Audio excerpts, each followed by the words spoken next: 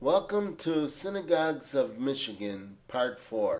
In this episode, we look at the Jewish presence in three cities that are in the southwest section of the state near the Lake Michigan side. They are Muskegon, Grand Rapids, and South Haven. We first turn our attention to Muskegon. This is Congregation B'nai Israel, a Reform congregation. In recent years, Rabbi Alan Alpert has been their spiritual leader.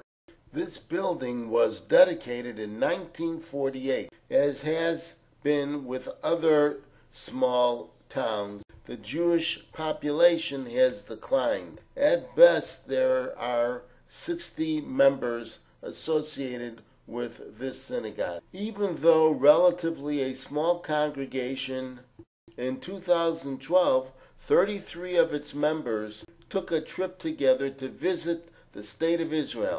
Let's move on now to another city with a larger Jewish presence, Grand Rapids. There are over 190,000 people living in Grand Rapids. At one time, it was considered the furniture capital of the United States, and it's still home to five of the world's leading office furniture companies. There are currently three Jewish houses of worship in this city. The one that we are looking at is Congregation Ahavas Israel, affiliated with the conservative movement. Ahavas Israel translated means for the love of Israel. Its history dates back to 1892 when the first Orthodox congregation in the city was formed called Temple Beth Israel and it grew pretty quickly over the next 20 years. But in 1911, there was a dispute among the congregants, so a second Orthodox congregation was created, and it was called Ahavas Achim, and it was located on the west side of the city. Over the next 16 years after that, both congregations grew about the same size when they merged together in 1937, becoming Congregation Ahavas Israel. After World War II in 1947, it switched to the conservative affiliation. Its spiritual leader is Rabbi David J.B. Krishef. He has been so since 1994.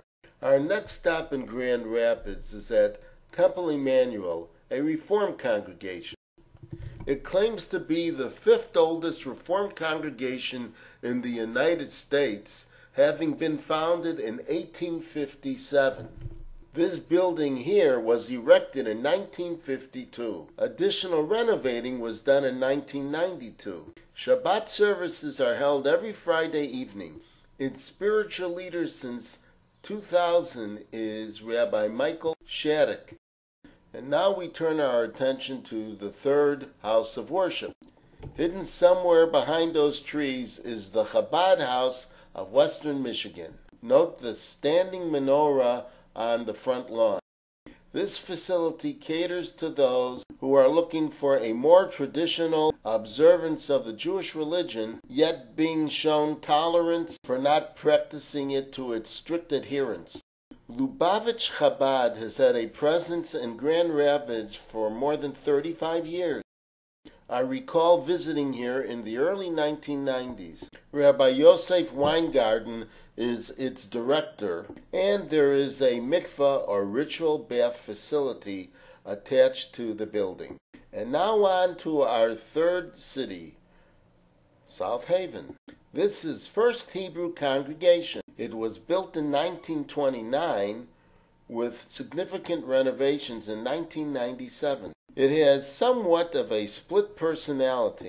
During the regular course of the year, it is a Reformed congregation, but during the summer months, it is inundated with vacationers from Chicago who practice the Orthodox customs, as they also provide financial relief to the congregation their request to have a Saturday morning Shabbat Orthodox service during the summer has been accommodated. And on the high holidays, after all the Chicago vacationers have returned home, it has a non egalitarian, traditional conservative service. Another note about the South Haven area.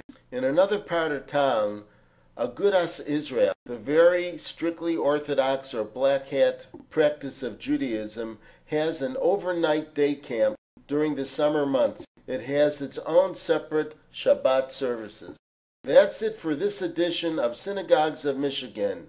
Bye for now. Hope to see you soon.